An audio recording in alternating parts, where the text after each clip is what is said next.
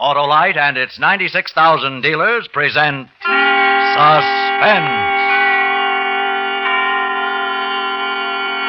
Tonight, Autolite brings you Over the Bounding Main, a suspense play starring Mr. Dan Dailey.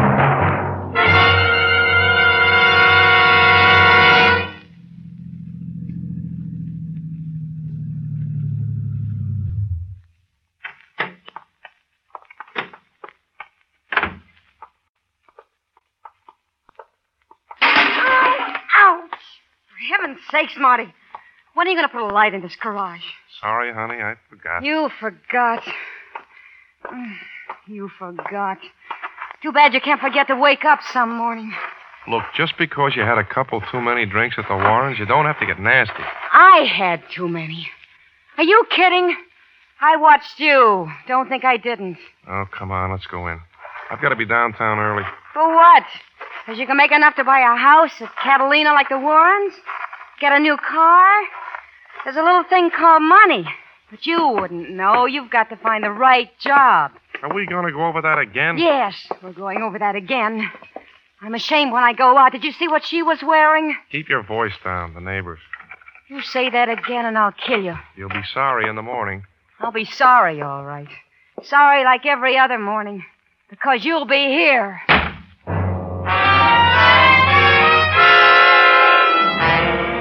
In just a moment, Mr. Dan Dailey in the first act of Over the Bounding Main. Say, Wilcox, what's your favorite fall hobby? Fishing. And for what? For compliments on ignition engineered Autolite spark plugs, and I catch plenty. What kind of bait do you use? Cars with sluggish, gas hungry engines whose spark plugs are not functioning properly. When Autolite spark plugs go to work on these lazy, limp, and listless lorries, wow, they start up like a trout after a fly, speed along smooth as a sailfish, and use less gas than a salmon swimming downstream. You must have a pretty good line. Yes, sir. The Autolite spark plug line is the best there is because Autolite spark plugs are designed by the same Autolite engineers who designed the coil, distributor, and all the other important parts that make up the complete ignition system, used as original factory equipment on many of America's leading makes of cars. When you replace worn out spark plugs with ignition engineered Autolite spark plugs, you get quick starts, smoother performance, gas savings. I'm hooked, Harlow. Thank you, my fickle fisherman. Friends, this fall, have your spark plugs checked by your friendly Autolite spark plug dealer and have him replace worn out spark plugs with new ignition engineered Autolite resistor or standard type spark plugs. Then you'll know why you're always right with Autolite. And now, with Over the Bounding Main and the performance of Mr. Dan Dailey, Autolite hopes once again to keep you in suspense.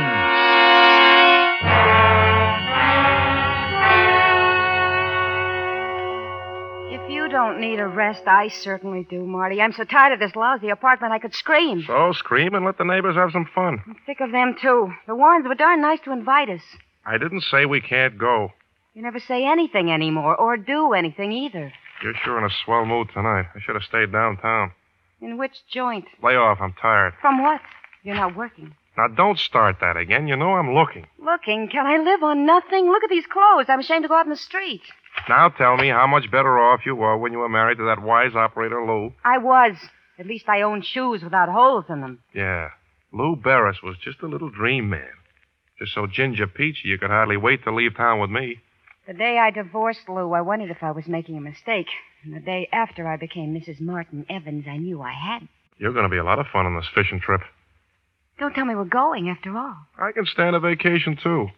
They call it the Pacific Ocean. It means peaceful, which is something I could use right now.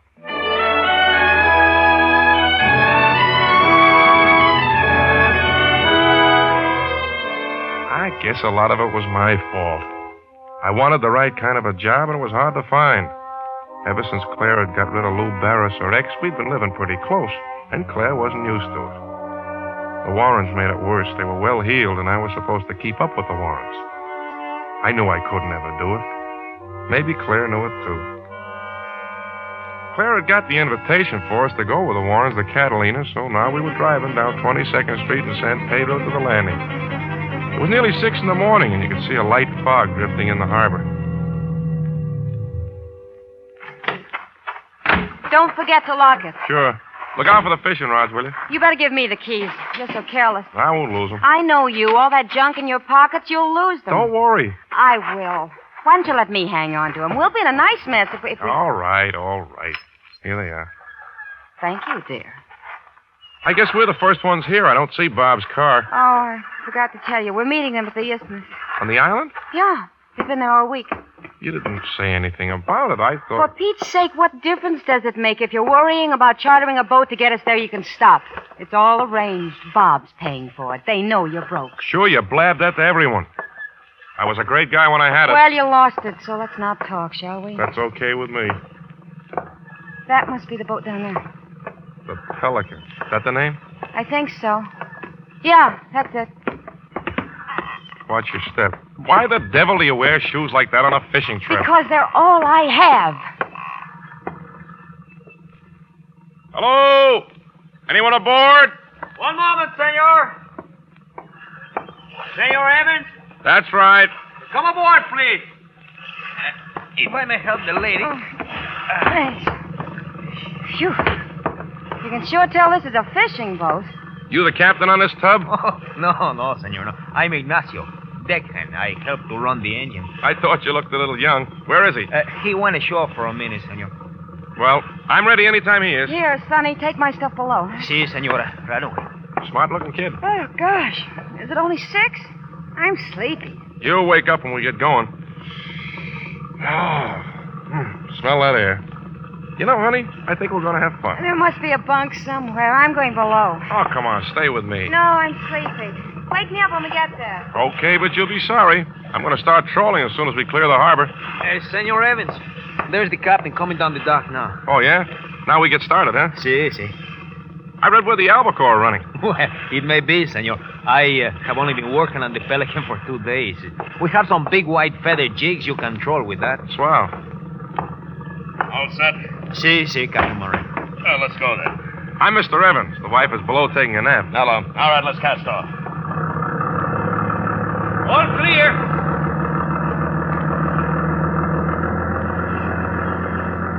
Think this fog will lift?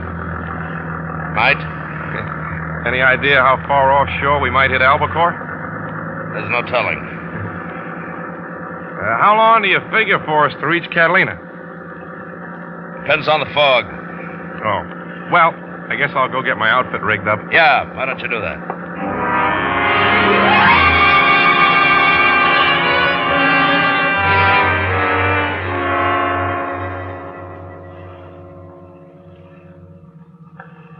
Are you sure that feathers are the best lure for them?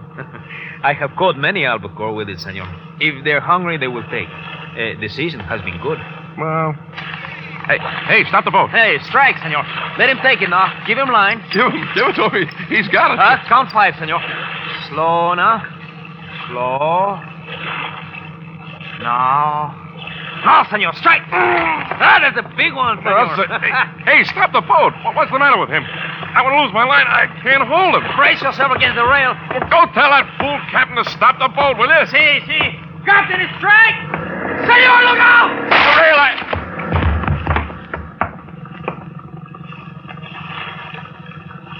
Are you hurt, senor? No. Thanks. If you hadn't pushed me, I'd have gone over. I, I just can't understand it. the rail breaking that way. What the devil was Moran trying to do? We could have been killed. You tell him to stop, he speeds up. Well, maybe he didn't hear me. I want a few words with that joker. Hey, do you know I almost went into the drink? The rail at the stern broke. Well, that's too bad. I'll have to get it fixed. Yeah? What the devil were you trying to do? The kid yelled for you to stop. I'm sorry. I thought he wanted me to put about. Thought you'd lost your tackle. I down there lost my skin. If Ignacio hadn't been so quick on his feet. Sorry.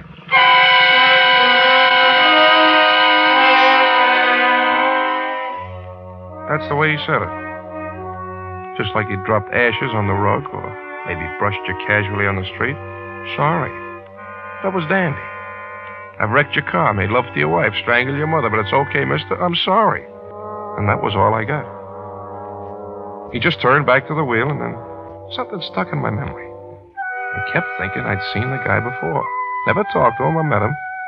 Somehow I knew him. I looked him over. Six foot one, black hair, the usual amount of face. I couldn't pin him down. I figured it was just one of those mental tricks, or maybe he looked like my Uncle Phil and let it go. I started aft when all of a sudden Claire came out on deck. She rushed to the stern, looked over, and then spun around and saw me. She had a strange look in her eye, and her face was as white as a seagull's wing. What's the matter? Are you sick? No, I. Yes, I think I'm seasick. There is a bit of a swell. Stay on deck, you'll feel better. No, I'm gonna lie down again. Okay. Gee, you look pretty bad. Come on, I'll help you down. I'm all right. Going back up. Whew. No wonder you feel lousy. The smell. Oil and dead bait. I'm not kidding. You'll feel better up Let there. me alone, will you? Hey, what's the matter with the engine? How should I know? Well, take it easy. Yeah,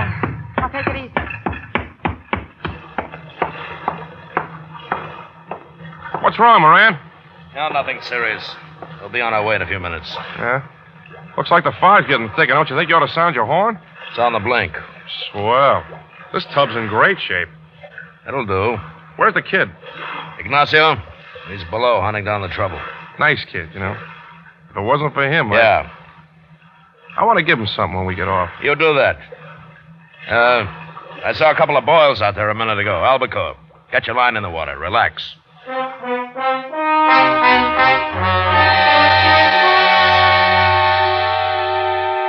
It was a fine way to relax. Drifting in the Catalina Channel with no motor, no foghorn, and you couldn't see more than 20 feet out. I threw my line in and tried to forget it. And the way the albacore was striking, I almost did. After a couple of hours, maybe three, I'd had enough, so I folded up with my back to the bait tank and dozed off. When I woke up, we were still drifting, and the fog was even thicker. Then I realized it was getting dark. I started to look for Moran. I felt something was wrong, something besides the motor. And when I heard their voices, Done my part of I knew it. I'm Doing yours. I can't. I can't. You don't have any choice. It'll be dark in an hour. I can't stall him with this bum motor gag much longer. Please. I don't get it. You come crawling to me with this big idea, so why get squeamish? He's worth a lot more dead than alive. Twenty grand, isn't it? I just can't do it. Now listen, baby, there's a lot of dough invested in the guy, and it's going to go through on schedule. We're going to trade one bullet for twenty thousand bucks. There isn't any way of backing out.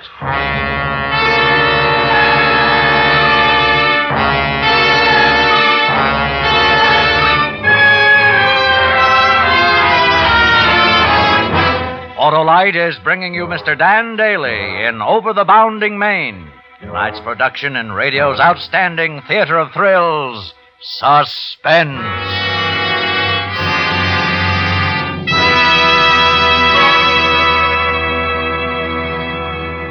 Hey, Hap, uh, did I tell you about the whale? Whale? What whale? The whale of a job being done by ignition engineered Autolite spark plugs. Delighted drivers declare that for fast starts, smoother engine performance, and gas savings, these ignition engineered Autolite spark plugs can't be beat. Go on, Jonah. I'm listening. And, like Jonah, Autolite ignition engineers know their business from inside to out, from head to tail. Autolite engineers design spark plugs just as they design the complete ignition system, used as original factory equipment on many of America's leading makes of cars. That's why Autolite spark plugs are engineered to work together perfectly with the coil, distributor, and the rest of the ignition system. You're spouting like Moby Dick, Wilcox. Well, I'm always glad to spout about those great ignition engineered Autolite spark plugs, Hap. They're unexcelled for quick starts, smoother performance, gas savings. Hark to Harlow, the happy harpooner. Thousands of motorists agree that Autolite spark plugs are the best bet for better driving. Replace worn out spark plugs with ignition engineered Autolite, resistor, or standard type spark plugs. And remember, you're always right with Autolite. And now, Autolite brings back to our Hollywood soundstage Mr. Dan Dailey in Elliott Lewis's production of Over the Bounding Main. A tale well calculated to keep you in suspense.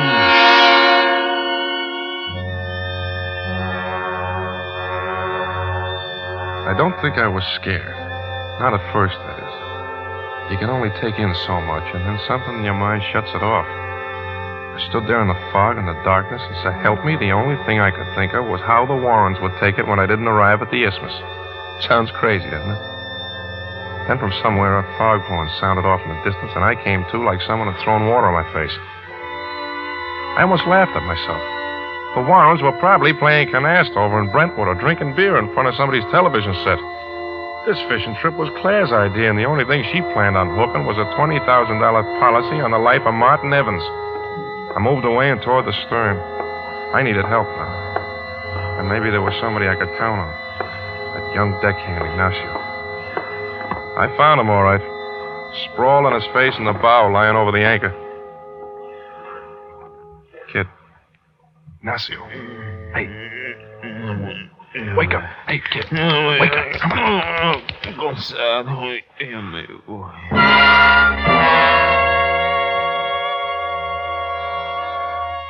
He smelled like a distillery. I shook him, slapped him as hard as I dared, but he went right on sleeping. Captain Moran had taken good care of the only friend I had. With the Mickeys poured into him, he'd be lucky if he ever woke up. Now I was good and scared. It was almost completely dark. Moran would be coming on deck, and then I remembered the gaff. The pole with a razor sharp hook at the end. I'd used it to pull up the albacore on deck. I moved to the stern, quietly, feeling with my feet because I couldn't see now. Then I tripped over something and fell on the deck. It was the gaff. I grabbed it and got up. Evans? Evans? I know you're there. Evans? I couldn't see him, and he couldn't see me. I moved silently around the deck in a crazy game of blind man's bluff. Just moving away from his voice and trying to think of a way out. Evans! Can you hear me? I heard him all right. His voice sounded muffled, as though the fog was a black hood closing off the world, like they drop over a guy's head on the gallows. Gallows. Rope. Rope. There was a coil of heavy rope on the forward deck. A coil of heavy rope on the forward deck. All right, Evans, you can't get very far. You getting tired, Evans? Want to go around again? Hear the foghorn, Evans? Well, you better listen to it. You won't hear anything else for a long time. You still have that gaff, or do you drop it again? You can't see it, but I got a gun in my hand. Maybe we can make a deal, huh? Keep away from me! Ah, so Mr. Evans can talk. You won't get away with this! Oh, I think so. After all, is it my fault if a new deckhand I hire gets crazy drunk and shoots up the ship? He'll tell! He'll tell! Mutiny. Murder. No, he won't even remember it. Isn't it funny what liquor will do to a kid? Penalty for mutiny's a rough one. After all these years, the book still calls for hanging on the public dock. But maybe he can plead insanity, huh? And I'm sorry he had to kill you, Evans. You won't get me! You won't get me! Is he dead? Did he? He decided to swim for it. Well, that saved a lot of trouble. Awful. Yeah, 20,000 bucks worth of awful. The only thing I'm sore about is the lousy jerk won't be able to watch us enjoy it.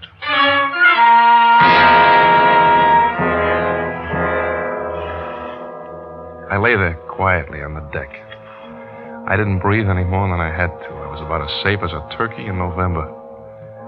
If Moran should notice that missing coil of rope, it wouldn't take him long to figure out exactly what had made that splash in the water. He couldn't see any better than I could, but as soon as it got light, there I'd be out in the open without a prayer. And the only thing I'd gain was a few hours at the most. So I huddled against the rail and hung onto the fishing gaff, feeling like David might have if he'd have broken his slingshot just before he met Goliath.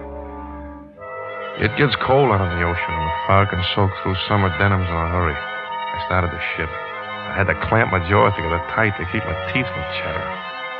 But the cold did one thing. It seemed to free some of the fear out of me, and I started to think. I had it pretty well figured out. All except one thing. When I heard Claire and Moran coming out on deck. Can't miss if you don't louse it up. Those cops are smart. One little angle where our stories don't match, and. Well, just keep your head. Don't worry about me. This is important now, once more. Not again. I- Once more. Now, who heard the shot? I did. And I rushed on deck to see Ignacio struggling with Marty. Ignacio had a gun. Ignacio had a gun. He and Marty fought. He hit the side. Marty went overboard. And our engine's dead. He just disappeared in the darkness, right? Can't we start back? Well, I gotta change some parts first. Make it look like the engine really was out. See? Every little angle counts. I wish it was over. And for Pete's sake, remember my name is Moran, and you never saw me until you got on board the Pelican. There's no way they can check. I don't even have the locket anymore. Good. I'm gonna fix the engine. As soon as it gets light, we'll head back to port. I had forgotten all about Claire's locket. But when she mentioned it, the last chunk of this puzzle dropped into the slot. And I wondered why I hadn't thought of it before. That crummy little locket, heart shaped, with Claire's picture on one side and Lou Barris's on the other. The one she wanted to keep for sentiment's sake.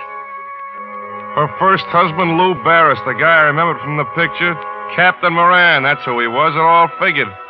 Lou scores a triple play. Gets his wife back with 20 grand in a person pays off Martin Evans with a one way trip to the bottom of the ocean. And I couldn't think of any way to stop him.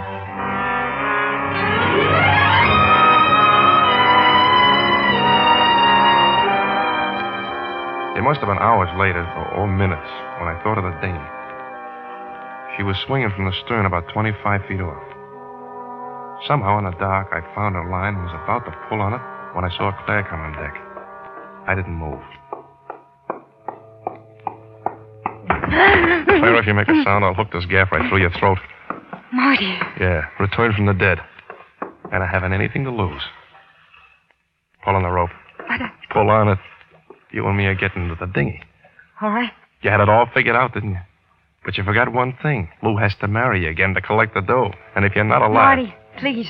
I'm sorry. I am. Give me that rope and don't move. I've been wrong. I know it. Sure. I'm glad you're all right. I've been wrong about us. Don't worry, I won't kill you unless I have to. You're my new insurance policy. Now, get over into the boat. I Sure, can't. it's little and the ocean's big, and we're going just the Where? same. Not a sound. Get in. Where? He's ready to go. Smooth and neat. As long as I had a gaff at Claire's neck, Lou couldn't do a thing. His one bullet would cost him Claire twenty thousand bucks and maybe his life. We drifted off a bit, and I reached for the oars. But there weren't any. There weren't any oars. When I looked up, I saw Moran standing in the stern of the Pelican. Evans, I can see you. There aren't any oars, are there? That's right. But you try to shoot me, and I'll kill Claire. You won't get away. Claire? She can't help you. Claire? I'm going to put him out. Don't worry. Why don't you answer him, honey? Don't you understand? I'm sorry. I don't want you to die. I want to be with you. I was wrong. You bet you were wrong. You're going to find out. We're going to paddle. Paddle with our hands. If we can lose him in the fog, we'll be all right.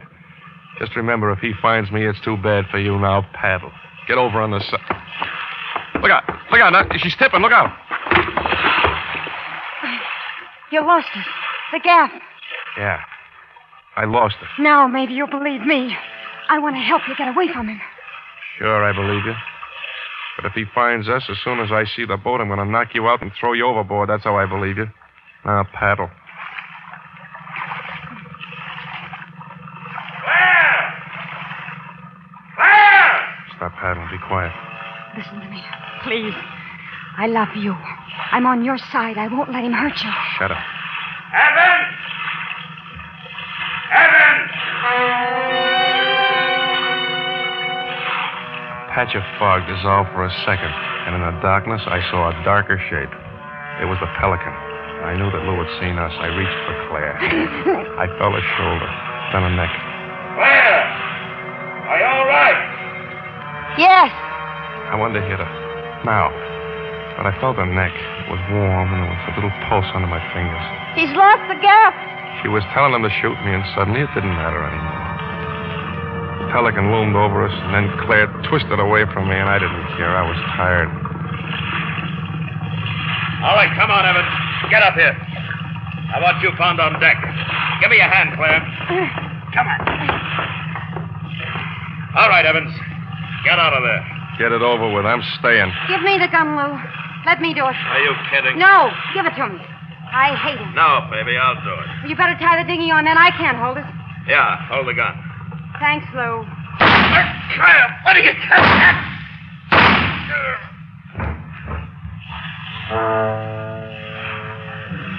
Give me the rope, Marty. I don't want you to drift away now.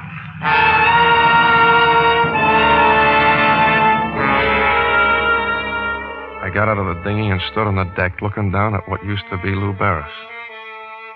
Claire handed me the gun and just stared at me. We didn't say anything for a long time.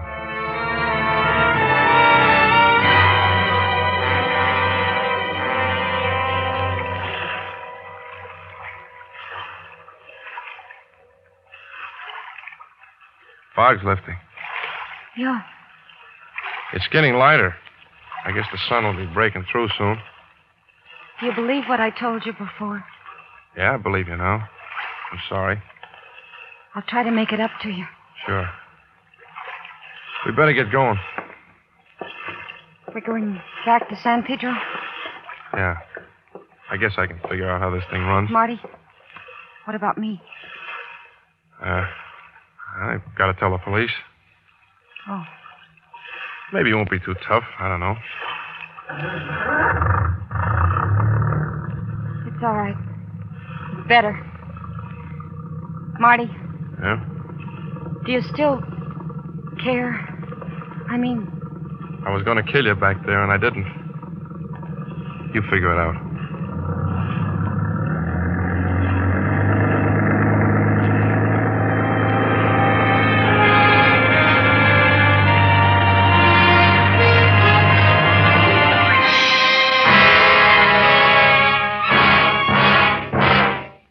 Suspense, presented by Autolite. Tonight's star, Dan Dailey. Harlow's quite an angler. In fishing, he's real bright. But what he's really best at is talking Autolite. Thanks, Hap. You're right. I'm inspired by Autolite. Autolite makes more than 400 products for cars, trucks, planes, and boats in its 28 plants from coast to coast. These include complete electrical systems used as original equipment on many of America's finest cars. Generators, coils, distributors, voltage regulators, wire and cable, starting motors, and electric windshield wipers. All engineered to work together perfectly as part of the Autolite team. All engineered to give you unexcelled Autolite service. Don't accept electrical parts supposed to be as good. Ask for and insist on Autolite original factory parts at your neighborhood service station, car dealer, garage, or repair shop. Remember, you're always right with Autolite. Next week on Suspense, Mr. Dana Andrews as star of The Crowd. And here is Mr. Andrews to tell you about it. Have you ever noticed when a person dies on a city street how quickly the crowd gathers? As a police lieutenant, I knew that one person in that quickly gathering crowd was responsible for the death of the man lying on the busy street. Yes, next week, Mr. Dana Andrews as star of The Crowd. And in the weeks to come, you will hear such famous stars as Joseph Cotten, Miriam Hopkins, and Milton Berle, all appearing in tales well calculated to keep you in suspense. Tonight's suspense play was produced and directed by Elliott Lewis, with music composed by Lucien Moraweck and conducted by Lud Gluskin. Parts of this program were transcribed. Over the Bounding Main is an original play written for suspense by Gloria Elmore and Jimmy Barnett. Dan Dailey may soon be seen in the 20th Century Fox production My Blue Heaven with Betty Grable. And remember next week on Suspense, Mr. Dana Andrews in The Crowd.